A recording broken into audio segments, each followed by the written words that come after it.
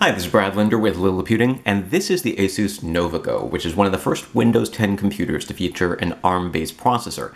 It has a Qualcomm Snapdragon 835 chip, which is one of the fastest smartphone processors from 2017, but it's 2018 now, and the processor is in a couple of tablets and this convertible notebook-style uh, device, which you can use as a tablet or a laptop.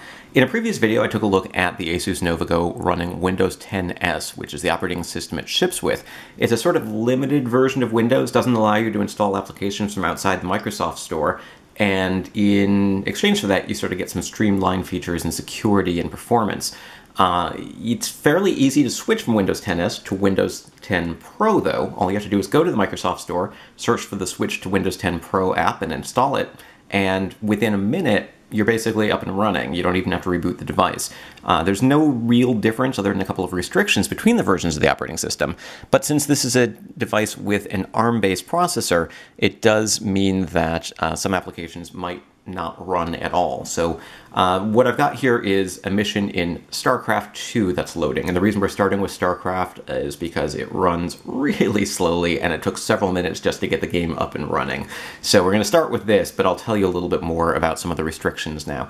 Uh, you can run applications that are designed for ARM-based processors or for x86 processors, like Intel or AMD chips. But if you're going to run anything designed for an Intel or an AMD chip, it needs to be 32-bit software. Uh, there's some emulation required to emulate x86 architecture, and it can't do 64-bit applications. So for instance, in addition to a couple of games like StarCraft 2 that I installed here, uh, I loaded uh, LibreOffice, no problem. GIMP, no problem. So I can do document editing, I can do image editing. Uh, I loaded Handbrake for video transcoding. Handbrake is currently only available as a 64-bit application, but there are older versions that run as 32-bit applications. So I was able to install Handbrake, but I had to go with an older version. Uh, the Google Chrome web browser, I had trouble getting it to install at first. Uh, it was easier to install. I kept running into error messages, but eventually I installed uh, Chrome Developer Channel and Chrome Beta Channel, and then for some reason I was able to install Chrome. Microsoft says Edge will work better because it's optimized for 64-bit uh, uh, or for ARM-based processors, but you can install Google Chrome if you prefer that. Um, anyways, it looks like we're up and running here. I'm going to go ahead and turn the sound on a little bit and just show you how awful StarCraft 2 runs. Now, other games, this is, this is a game that's pretty resource intensive. Other games might run better. Uh, for example, I also have StarCraft 1 on here, and it actually runs just fine. In fact, it's one of the most usable and enjoyable experiences I've had on this laptop.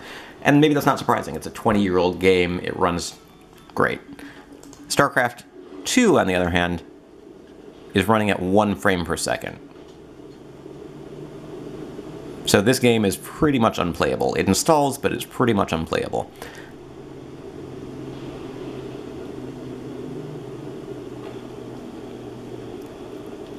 Now, I installed Steam and, uh, and tried to load a couple of other games, including Batman Arkham uh, Asylum, and the game installed, but it wouldn't run. It ran into sort of a graphical error and just wouldn't even start.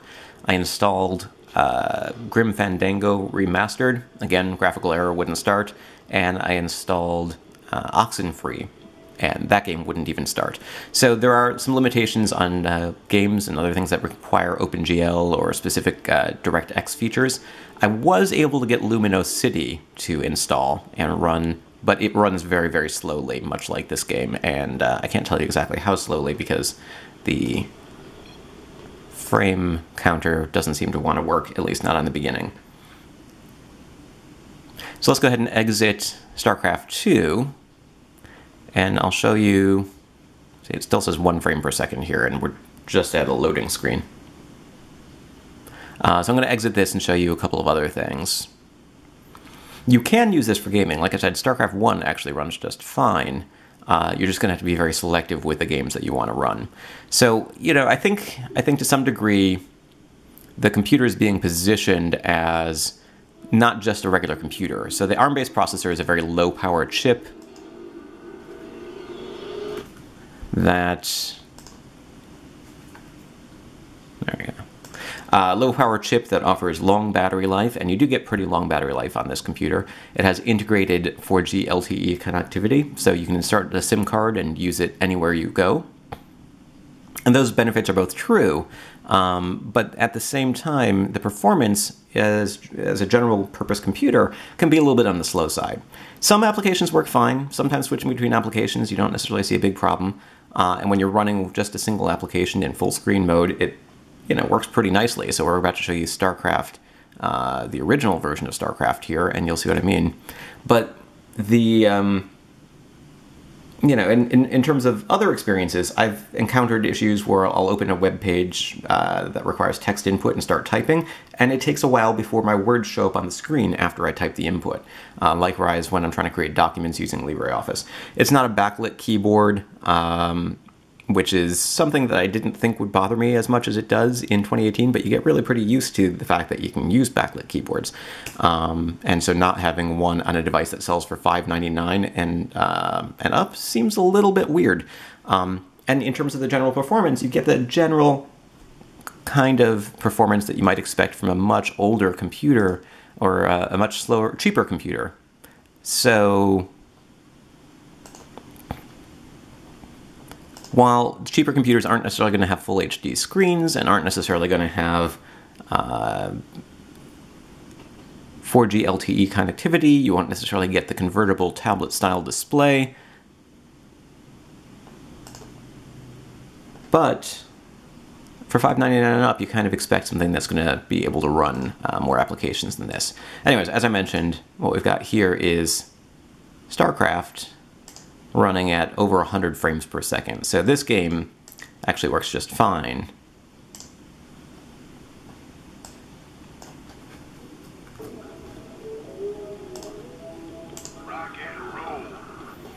Whereas StarCraft 2 is virtually unplayable.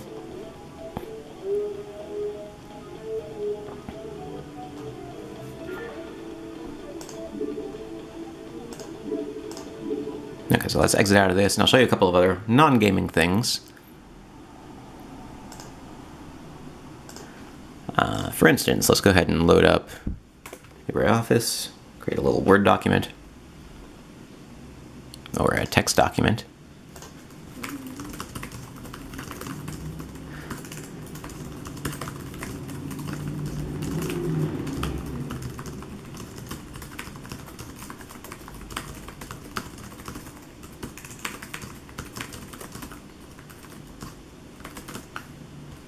So I don't know if you saw that, but when I first started typing, it took a little, a second for the words to catch up on the screen. Uh, it's a problem that comes and goes. I experience it more sometimes than others. Uh, I'm not really sure why the issue wasn't really that bad there, but I've seen it get much, much worse. Uh, let's try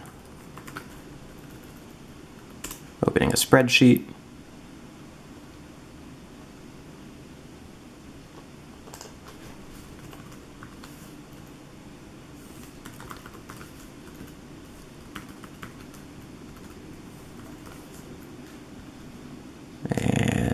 Calculating the sum. So again, there's a little bit of lag there, but basically when I'm just doing one thing at a time, the computer seems to work reasonably well. Um, let's go ahead and load GIMP, which is a program that, even on the fastest of computers, tends to be relatively slow at loading.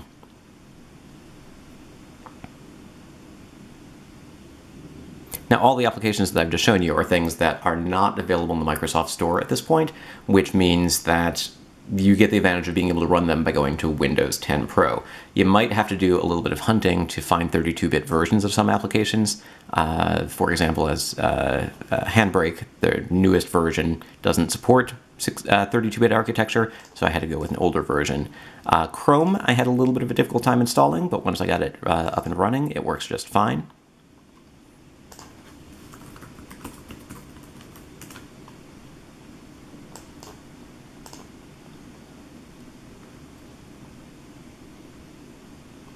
It's a little bit on the slower side uh, compared to Microsoft Edge, which comes uh, built into the operating system, I think. But um, but it works. You can use the browser.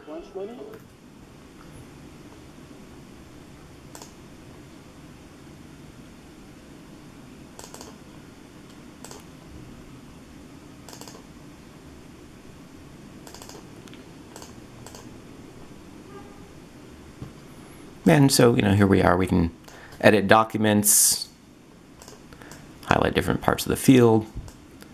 Uh, go in and crop, etc. While watching videos. This is actually a video of the thing that we're looking at right now.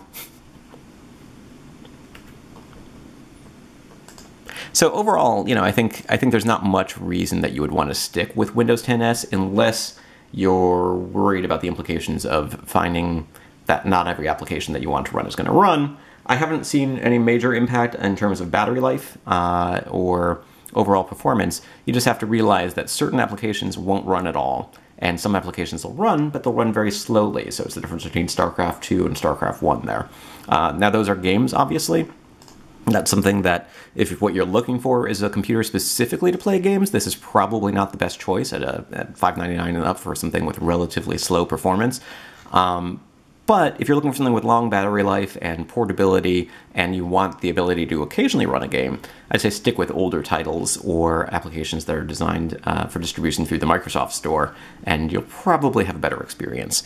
Um, so overall, it works a lot like the Windows 10S software, when you switch to Windows 10 Pro, the main difference is that you have support for running different applications that might not otherwise be available, realizing that it might be a slightly frustrating experience when you try installing certain applications that seem like they should run and they don't. Um, for example, uh, I was able to install Reaper, which is my preferred audio editing software. Works just fine out of the box. I'm even able to use it to, uh, to record and edit and do everything that I would normally do for making a podcast, for instance, or uh, music recordings.